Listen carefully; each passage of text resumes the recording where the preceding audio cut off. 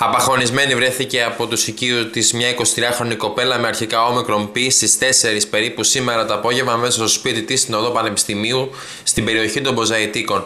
Στο σημείο έφτασε μονάδα του ΕΚΑΒ, όμως ήταν ήδη πολύ αργά για την 23χρονη αυτόχειρα.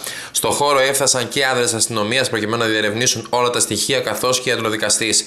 Άγνωστα παραμένουν μέχρι στιγμής τα αίτια που οδήγησαν την νεαρή κοπέλα να βάλει τέλος στη ζωή της.